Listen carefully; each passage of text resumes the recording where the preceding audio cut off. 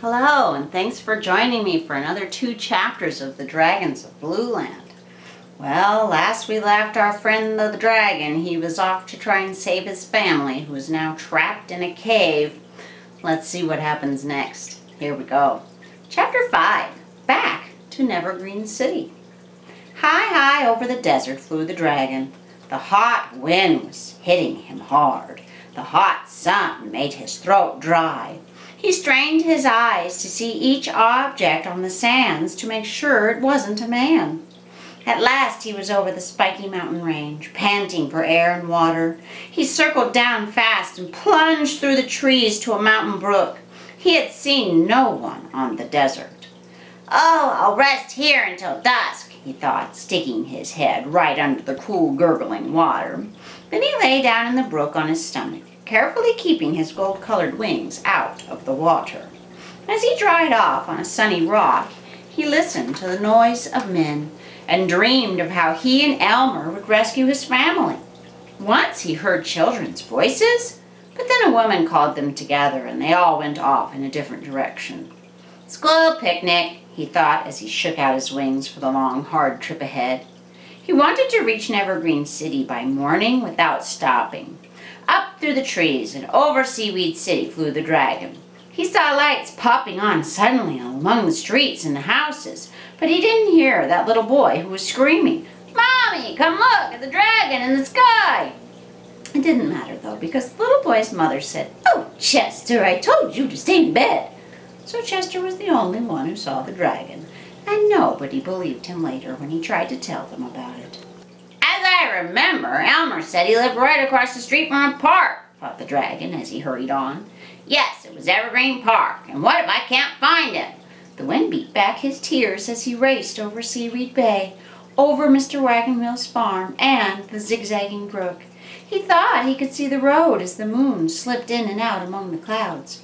He flew to the coast of Popsicornia and followed it southward. Suddenly he felt flooded in light. What had happened? The moon? No. He looked down and he could see a beam of light leaping up from a ship off the coast. He violently zigzagged up and down, to one side and then to the other, trying to get rid of the light. Men were shouting on the ship. Into the beam, out again, flooded in light, out of the beam again he flew. He knew that the ship's searchlight had found him accidentally, but as it tried to follow his flight, he thought wildly, how can they tell it's me? What do they think I am anyway? And then, as suddenly as the light had found him, it lost him. So he sped on in comforting darkness. His heart was pounding and hard with fright. As dawn began to break into the sky, he saw Nevergreen City Harbor, the lighthouse, and in the center of the city a large green shape. Evergreen Park, he thought with relief, and he quietly glided down among the trees. No one had been on the streets to see him. Chapter 6 Elmer to the Rescue Dawn brought Saturday to Nevergreen City, and as Elmer slept snugly in his comfortable bed, he was suddenly awakened by a damp cold kiss on his cheek. Wake up! Wake up! insisted a voice. He opened his eyes and muttered, Oh, it's Saturday. I do not have school today. Elmer, wake up, said the old alley cat. The same old alley cat that had told him about the dragon and how to rescue him. Elmer, we've got work to do. I just saw the dragon fly into the park. He must be in trouble. We have to hurry to find him a hiding place before the city wakes up.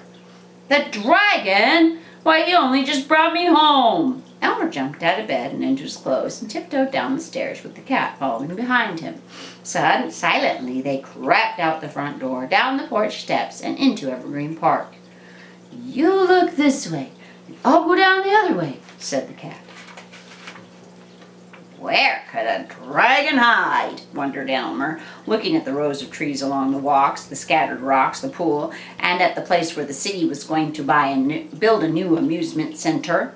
A big steam shovel sat there on the spot, marked out by foundations.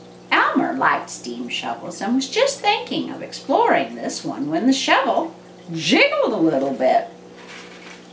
The dragon! He climbed up quickly into the cab. Elmer, whispered the baby dragon. Oh, Elmer. And the dragon burst into tears because he was so glad to see his friend. The alley cat saw you flying to the park, explained Elmer, hugging the dragon around the neck. But why have you come back? Are you in trouble? Terrible! Terrible! groaned the dragon. And then he explained what had happened to his family. You'll help me, won't you? he pleaded. Well, of course, said Elmer. Let's think out a plan. I suppose we'll have to wait until dark to leave. Yeah, I suppose so, said the dragon sadly. But you'll be able to rest right here, he said.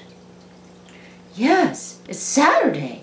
The men won't start work today, and I'll keep all the meddlers away. Meanwhile, let's all work on a plan, said the alley cat. The three friends discussed the problem all morning. Then Elmer went home for lunch. His mother was used to his long early morning walks, but she'd be suspicious if he didn't show up for lunch. That afternoon, Elmer took all the money out of his tin bank and went to collect things that he would need. So he bought 16 whistles, 16 horns, one cap pistol with caps, one ball of heavy string, six large chocolate bars, and three boxes of fig Newtons. Newtons are a kind of cookie. He found his very sharp jackknife and took a flashlight from the kitchen drawer. Then he carefully packed everything into his father's knapsack and went down to supper. He had $7.36 left over from all the shopping. Elmer, what have you been doing all day? asked his mother. I haven't seen hide nor hair of you except for here at lunch. Oh, I've been over in the park looking at the place where they're going to build the amusement center, said Elmer, which was kind of true. At last, the moment came to sneak out with his knapsack and join the dragon at the steam shovel. As he ran down the path, he saw the old alley cat waiting for him. I'm sorry you can't come too, said Elmer, climbing onto the dragon's back. So am I, said the cat sadly. But I am too old. I'm better off taking care of your mother and father. They do worry so. Well, goodbye. Good luck. Goodbye, whispered Elmer and the dragon as they flew up into the air.